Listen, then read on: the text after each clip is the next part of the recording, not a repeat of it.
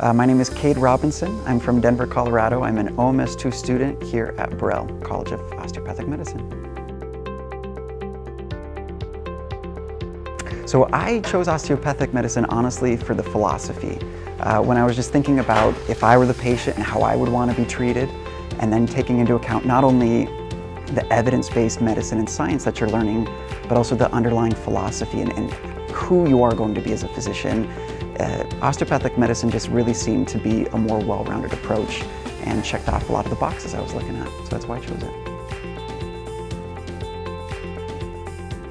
Ooh, my favorite thing in Las Cruces is definitely to be outside, whether that's hanging out with friends, going on a hike, uh, even just taking a quick 15 minute walk as a study break, especially if you can catch it right at the right time when the sun's going down and the sky starts to glow.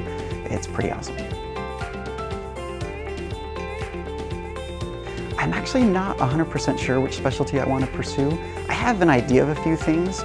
At the end of the day though, it, it might sound good on paper, but I'm really looking forward to third and fourth year rotations for that reason, because for me, I'm somebody where I definitely need to feel it out and kind of gauge um, if it's something that seems right. So I'll definitely be looking more come rotation time to get a better idea about what I want to study. Definitely. For people considering medical school, my biggest piece of advice is always just to be confident in yourself. Uh, especially for us now, and it, now today, it's very easy to get into the comparison game.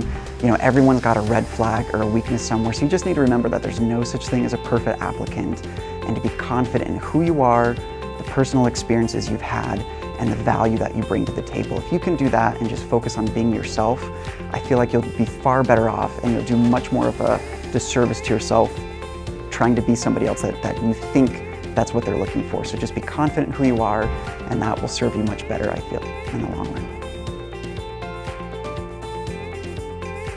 Ooh, uh, most rewarding part of medical school so far, definitely the relationships that you build.